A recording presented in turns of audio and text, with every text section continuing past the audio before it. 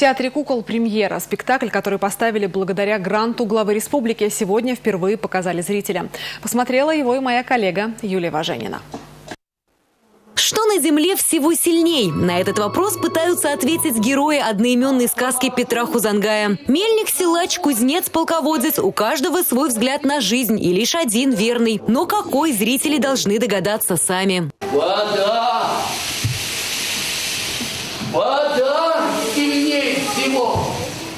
e foram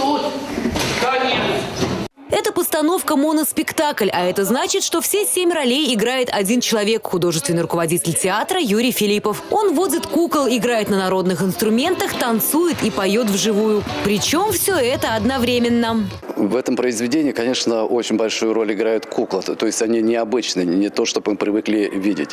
И э, то, что это моноспектакль, это очень оправданно, потому что именно в моноспек... только в моноспектакле можно э, показать э, на сцене всю трагичность судьбы именно этого странника-сказочника. Он ходит из города в город, рассказывает свои истории и собирает свои копеечки, но тем не менее доносит э, до зрителей добро, доносит до зрителей правду жизни.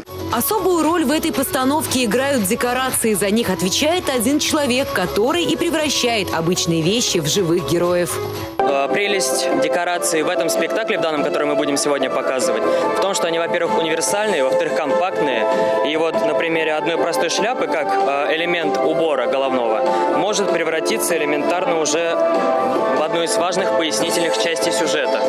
И то есть превратиться уже в мельницу, которая будет жить, как скажет артист. Зрители на полчаса перенеслись в волшебный мир, уходить из которого совсем не хотелось.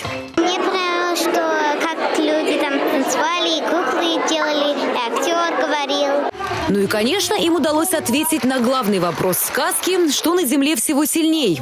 На все сильнее правда. Этот грантовый спектакль – первая, но не единственная премьера. Зрителей ждут еще три постановки. «Непослушная Ильдипи», «Репа» и «Голубка». Юлия Важенина, Анастасия Аланьина, Сергей Адушкин. Республика.